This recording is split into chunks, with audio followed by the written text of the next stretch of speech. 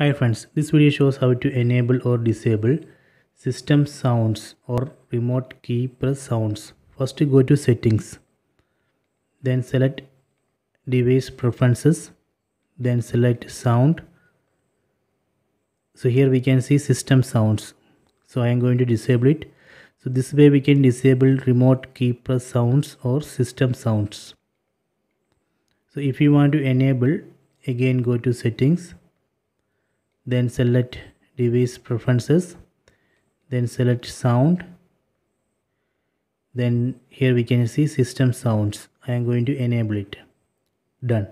So this way we can enable remote key press sounds or system sounds.